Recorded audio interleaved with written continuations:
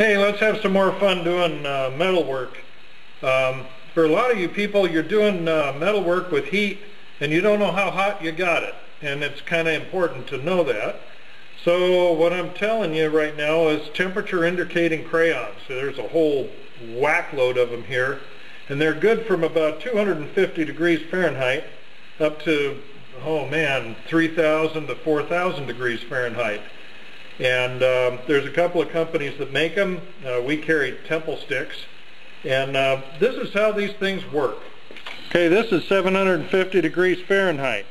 This is a piece of 3003 aluminum. I'm going to warm this up with the torch because I want to anneal it. This means soften.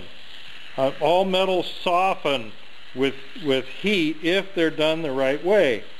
So I'm going to heat this and then touch it with the Tempilstik and as soon as I'm at the right temperature, you'll see the stick leave a mark and the magic crayon melts at the right temperature. Look at that.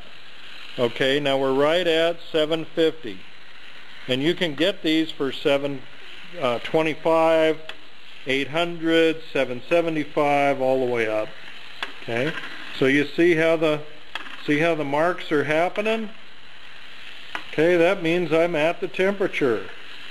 And you see it goes away out on the edge except when I warm it up. So you know exactly the temperature you're working at. Okay? Now, some people say, oh, you can use soot and you can just put that on there. Well, I'm not so sure. Let's see how well the soot works. See, you, you put the soot on, and then you go ahead and you melt it off with the torch. Okay, you're melting it. Okay, are you, okay. Oh, it's still black and the aluminum is melting. Oh no.